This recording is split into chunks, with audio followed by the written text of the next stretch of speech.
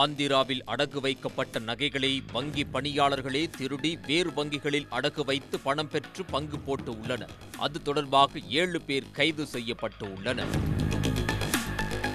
ஆந்திர மாநிலம் ஸ்ரீகாக்குளம் மாவட்டத்தில் உள்ள காரா பகுதியில் பாரத ஸ்டேட் வங்கியின் கிளை உள்ளது.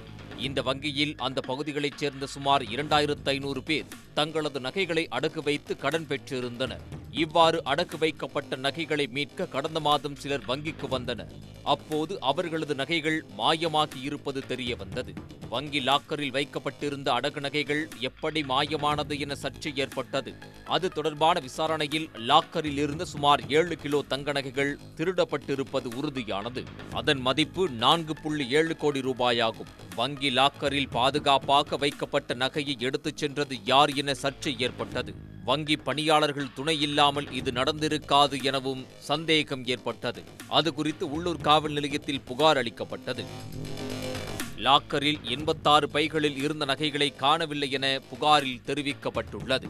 அதன் பேரில் போலீசார் விசாரணை நடத்தி வந்த நிலையில் அதே வங்கியில் துணை மேலாளராக பணியாற்றி வந்த சொப்னபிரியா கடந்த முப்பதாம் தேதி தற்கொலை செய்து கொண்டார். விடுமுறையில் சென்றிருந்த ஸ்வப்னாவின் உயிரிழப்பை அடுத்து விசாரணையை காவல்துறை மேலும் தீவிரப்படுத்தியது. அப்போது அதே வங்கியைச் சேர்ந்த ஊழியர்கள் பிற வங்கிகளின் பணியாளர்கள் மற்றும் தனியார் நிதி நிறுவனங்களைச் சேர்ந்தவர்கள் கூட்டு சேர்ந்து நகைகளை லாக்கரிலிருந்து எடுத்திருப்பது தெரிய வந்தது அது தொடர்பாக ஏழு பேரை நேற்று போலீசார் கைது செய்தனர்.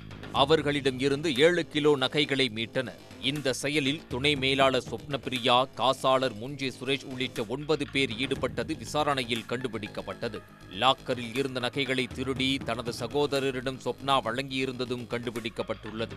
இந்த நூதன கொள்ளையில் வேறு யாருக்கெல்லாம் தொடர்பு உள்ளது என விசாரணை தொடர்கிறது. தலைமறைவாக உள்ள காசாளர் முன்ஜி சுரேஷை போலீசார் தேடி வருகின்றனர்.